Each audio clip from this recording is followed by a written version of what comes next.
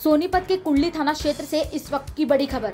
Dahiya colony में कत्था बनाने वाली फैक्ट्री में बॉयलर ब्लास्ट। ज़बरदस्त धमाके के चलते कई मकान हुए क्षतिग्रस्त। मलबे से दो मजदूरों के शव हुए बरामद। कई और लोगों के मौत की जताई जा रही आशंका। करीब 25 से ज़्यादा लोग हादसे में हुए हैं घायल। घायलों को तुरंत अस्पताल में कराया गया भर्ती। रेस्क्यू ऑपरेशन में जुटे दमकल विभाग के कर्मचारी। इस वक्त की बड़ी खबर से आपको रूबरू करवा रहे हैं। सोनीपत की दहिया कॉलोनी में कत्था बनाने वाली फैक्ट्री में बॉयलर ब्लास्ट। ज़बरदस्त धमाके के चलते कई मकान हुए क्षतिग्रस्त। मलबे से दो मजदूरों के शव हुए बरामद। कई और लोगों के मौत की जताई जा रही आशंका। करीब 25 से ज़्यादा लोग हादसे में हुए हैं घायल। घायलों को तुरंत अस्पताल में कराया गया भर्ती। रेस्क्यू ऑपरेशन में जुटे दमकल विभाग के कर्मचारी। नमस्कार, पंजाब केसरी देख रहे सभी दर्शकों का स्वागत है। मैं हूँ आपके साथ सनी मलिक।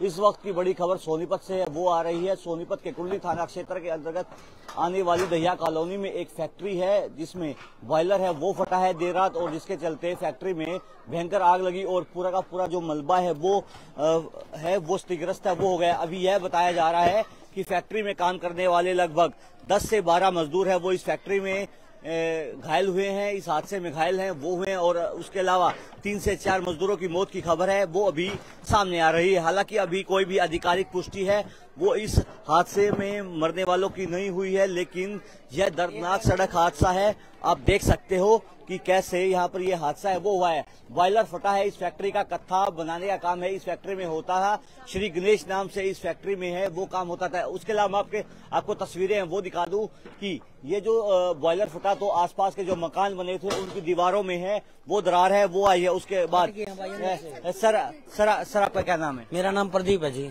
प्रदीप कैसे हुआ ये हादसा? ये हादसा जिस कंपनी का रात में बोलर फट गया ग्यारह बीस पे। अच्छा जी। हाँ ये सारे मकान टूट गए इस लाइन में दरार आ गई अंदर से सारे कमरे टूट गए हैं।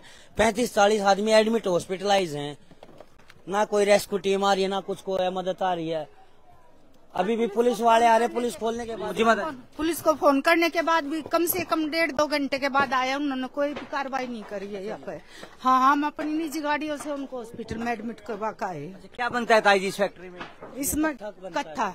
अच्छा कितने लोग घायल बताए जा रहे हैं? कितने लोगों की मौत? पैंतीस तो हम खुद पैंतीस चालीस तो हम खुद छोड़ के आए हैं। ये कंपनी के अंदर पता नहीं कितनी मौत हुई है कितने ज़िंदा हैं ये नहीं पता। और तीन आदमी तो जो जिसके पूरे शरीर पर आग लग रही थी वे हमने खुद अपनी आँखों से देखी है भागते हुए। भागते हुए। भागते हुए। क्यों आग लगी है इसका पता चला? ये कुछ नहीं पता। रात का टाइम था, इस वजह से कुछ नहीं पता।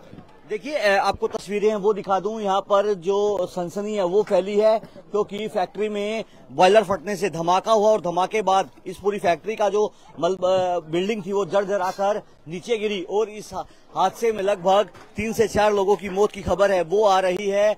और मैं आपको एक बार फिर तस्वीरें वो दिखा दूँ। अभी भी फायर ब्रिगेड के जो कर्मचारी हैं, वो इस आग पर काबू पाने का प्रयास है, वो कर रहे हैं। लेकिन ये हालात आप देखकर अंदाज़ा लगा सकते हो कि हादसा कितना भयंकर होगा। वहीं इस हादसे में जानवरों की मौत की भी सूचना है, वो आ रही है। यह बताया जा रहा है कि इस कंपनी के आसपास जितने भी बंदर रहते थे, उन वो भी मलबे में है, वो दबे हैं और हादसा इतना भयंकर था कि अभी भी यहाँ पर रेस्क्यू ऑपरेशन है, वो जारी है और लगातार तस्वीरें हैं, वो इस बात की गवाह हैं कि आप यहाँ पर अभी भी जो रेस्क्यू ऑपरेशन है वो जारी है, जिला प्रशासन पर मदद न करने के गंभीर आरोप हैं, वो यहाँ के स्थानीय निवासी है, वो लगाते हुए नज़र आ रहे हैं। हमसे जुड़े रहने के लिए हमारे YouTube चैनल को सब्सक्राइब करें और नई वीडियो की नोटिफिकेशन के लिए बेल आइकॉन को दबाएँ।